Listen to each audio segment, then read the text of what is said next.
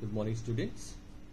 Here I am back with our eighth poem, The Patriot, by Robert Browning.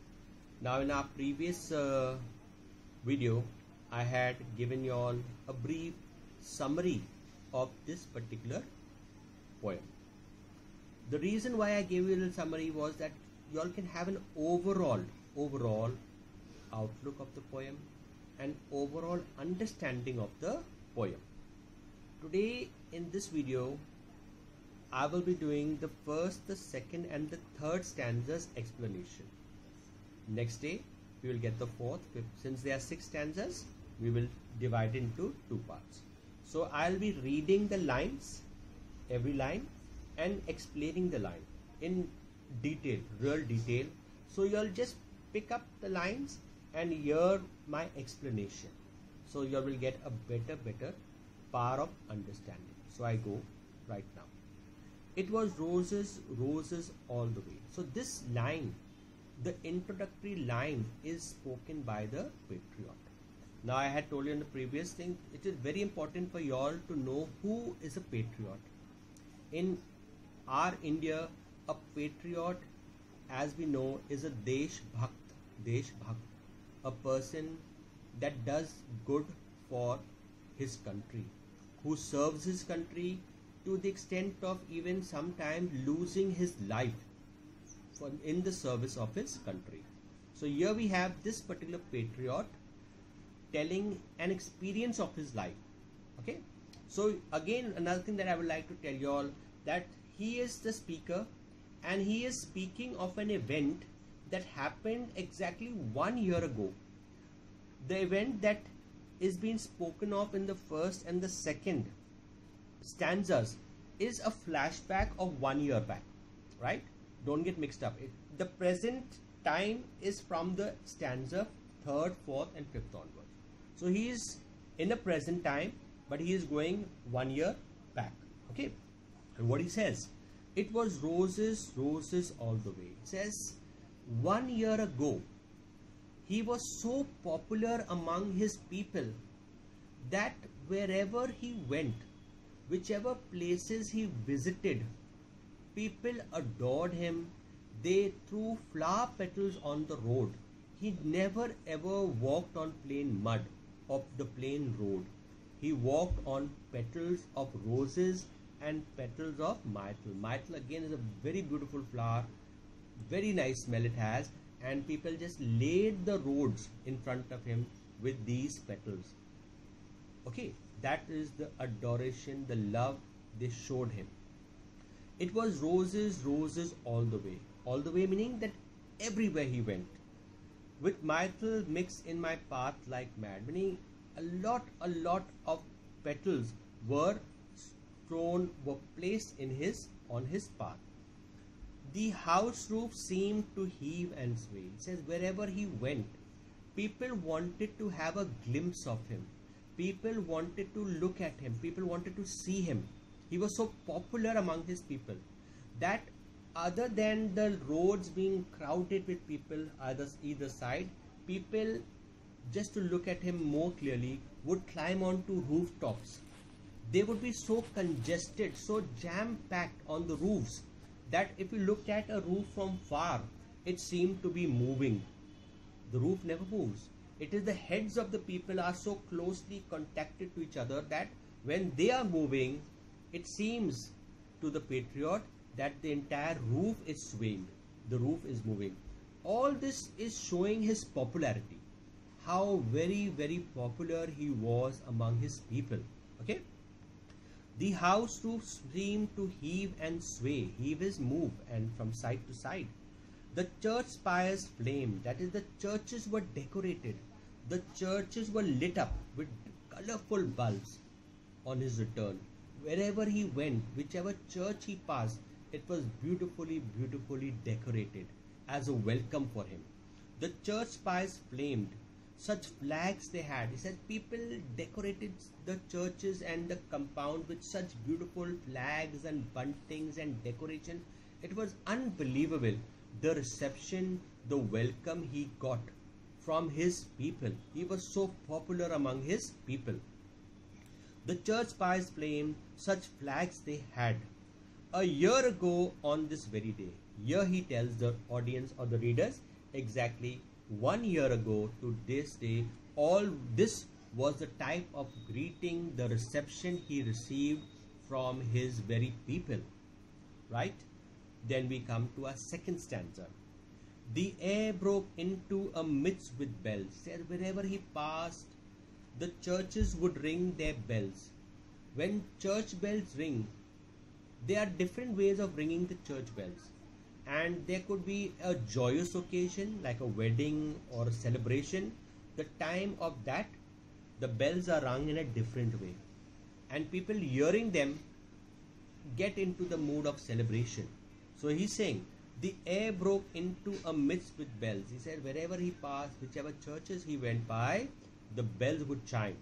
And sweet sounds of bells could be heard in the heard in the vicinity. The old walls rocked with the crowd and cries. Now he's exaggerating a bit also, and he says there was such a hue and cry. There was such calling out to him that whenever he passed, people would shout out, and their shouts would echo. And with that echo, it seemed that the walls would start to tremble, the walls would start to move, just with the crowd's echo calling out to him.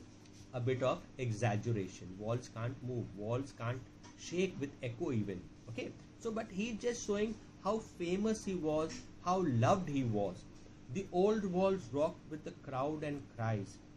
Had I, had I said, good folks, mere noise repel. And here he's saying that if that day he had told his people control your shouting. Stop the shouting, stop the yelling. They would have immediately listened to him. And he goes on to say, But give me your sun from yonder sky. Says, if he, he was so popular among his people that if he said, Stop your crying out, stop your shouting out, and you can see the sun in the sky, go up there and get that sun for me. He is saying he is guaranteed that people would have done the impossible to please him. No one can go anywhere close to the sun, even. But he says, if I told them, go and get me that sun from the sky, they would have done that. That is how much they appreciated him, how much they wanted to please him. He has that confidence that this was the feelings of his people for him, right? Give me yon sun from yonder skies. They had answered, and afterwards what else? So after getting him the sun, which of course is the impossible, they would have done it in a jiffy, in a second, got the sun for him to please him, and after getting him the sun, they would have stood in front of him and asked him, Now what can we get for you? Now how can we please you? That is his understanding of his people okay so here we have our second stanza done now third stanza he is now entering the present situation of his life. Presently what has happened to him? What is taking place in his life? The first and the second were just flashbacks okay? Get that in mind. Third stanza start. Allah it was I who leaped at the sun. Now he is going into a reflective mode. And he is going back to the second stanza where he told us that if he asked his people for the sun, they would have obliged and given him the sun. Now he is saying it was not the people that leaped for the sun, it was not the people that did the impossible. In fact, it was he, as a true patriot, who did his level best to please his people and to do things that were impossible to conceive, impossible to do, he would have done it for his people. So Allah, it was I who leaped at the sun to give it my loving friends to him. So I would have gone to the extent of getting the sun for my people and giving it to them. Meaning, in reality, it's not the sun. He meant to say that he would have done things impossible to think of to please his people and after pleasing them he would have told them okay this is for you now. Please yourself be happy with it. And this is how he would have treated his people right? To give it to my loving friends to keep. Not man could do have i left undone. Says there is nothing imagined that he has left undone. Nothing nothing thought of that has been left undone and you see my harvest what i reap. And he says look at the harvest what he is reaping today. Meaning that look at what his people have given him in return. Like he has gone to the extent of pleasing his people to unlimited modes to unlimited extents. But today he is saying what i have got from my people in return. Okay you can see like in your own lives also you do so much. Your parents do so so much for y'all. Yet when they tell y'all they can't do a particular thing for y'all one thing and then how y'all turn against your parents that they couldn't do this thing for us. It's same with the patriot also okay? And you see my harvest what i reap. This very day now a year is right said now exactly one year has passed since the flashback of the first and second stanza. It's exactly one year has passed and now after one year i am getting back my harvest. He is comparing himself to a farmer. A farmer labors. A farmer gives it everything to get a good crop. Does his best to get that crop growing to get the yield at its best. Yes and when the yield comes out when the crop is harvested the farmer is pleased with his harvest. Because the harvest goes to the market it is sold he gets the profit and he gets the reward for his hard labor. And he says here is my reward for what i have done to please my people. So this is the end of your third stanza. We are going slow as i've always told you all. The next video i will be doing the fourth fifth and sixth stanza. So through this poetry the patriot the poet in fact is trying to give us an example of the fickle mindedness of people of human beings.